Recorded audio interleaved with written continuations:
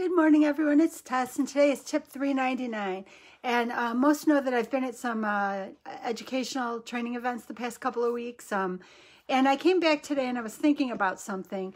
Uh, often in my life, when uh, I get uncomfortable, sometimes I think historically I've looked to blame someone as if um, someone didn't treat me right about something or if something didn't move forward in the right way. I think sometimes we look for blame. And I decided, like, after going through some of these events this past couple of weeks, I really realized that being uncomfortable is inner guidance. Being uncomfortable is like a, a, a message from God. It's a, it's a message to you that there's time to take action. There's no, it's not necessary to look for a, for a reason as far as like, um, uh, my boss isn't treating me the way I should be, or this environment isn't providing me what I think it should. It's, it's. I think it's just a sign that we need to make a change.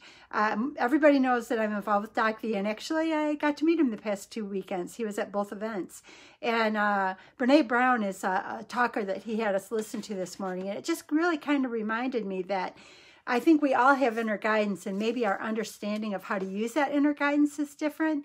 And uh, I want to from now on recognize that when things are not sitting well with me, that means it's time for me to adjust my path. It's time for me to course course correct. It's time for me to evaluate where I'm headed and see if there's a new direction I can go in. I think too often I felt victim to that hint that it was time to course correct and I stayed too long in noodling or uh, ruminating when I could have been taking steps forward faster. And I think that's what I want to do is to recognize that if something's not feeling comfortable, it's just a message. It's a message that it's time to take a look at where I'm what I'm doing, what can I adjust, how can I move forward, and how can I make things better. And I also want to remember that as I am course correcting, it provides opportunities for other people. I think it's kind of like we always talk about a hand up instead of a hand out. But if I'm standing in the way of the hand up for the next person, then it's almost like we're, we're blocking the path for everybody. So I think what I want to recognize as I move forward is that when something isn't feeling exactly right, I know I need to trust my inner guidance. I know I need to trust that that means it's time to make an adjustment. And I've made some decisions about that myself this very weekend, but I'm happy that I made those decisions because we aren't victims in life. We can decide to make choices to move forward. And what I want to do now is to learn to course correct faster and to accomplish more faster and to reach my hand back to help somebody else up faster. It's not about handouts, but it's about hand ups.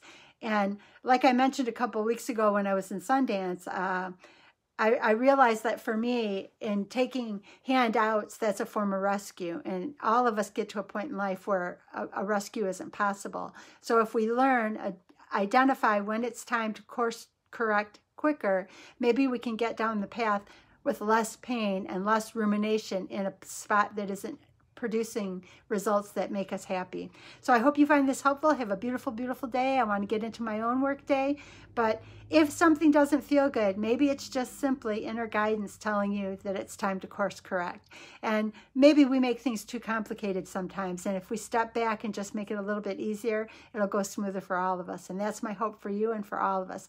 Let's make this world a better place. One smile, one reach of handship out, and one day at a time. Thank you and have a beautiful day.